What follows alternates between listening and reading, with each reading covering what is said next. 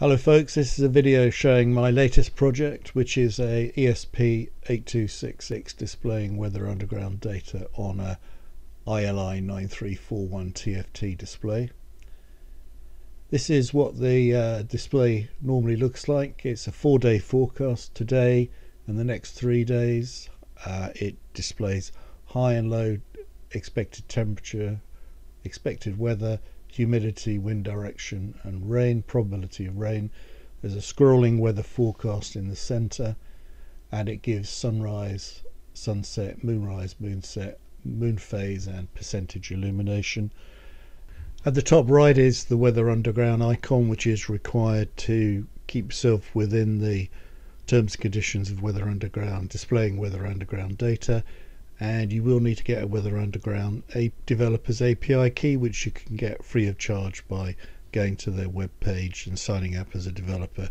There it is running, and uh, it receives the um, via the Weather Underground API. So I did a reset here, just starting from from beginning.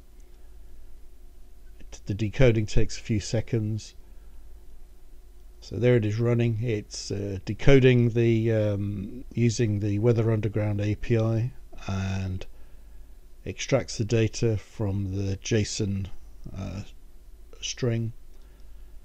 Uh, I'm just pointing out some of the areas there on the display. The Weather Underground icon is required to use the data. That's part of their terms and conditions. So that's that's put up to get the weather icons into onto the ESP8266 you do need to upload them which I demonstrated in my previous video and I'll put the, all of the icons onto the, the GitHub which you'll find in the link below in the normal places.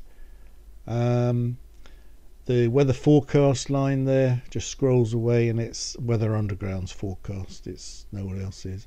Uh, it's a three-day forecast um, what else can I say? Notice that um, on the bottom lines here, the um, there's a, there's a subtle difference that Weather Underground used for 20% probability of 4 millimeter of rain, or if they don't know how much rain, they just say it's 10% probability of rain. So that's why there's that uh, difference. So there it is, um, a continuous scrolling, updates every 30 minutes or however many, how quickly you want it to do that. That's how you connect the display to the ESP, either a WeMOS or a Node MCU.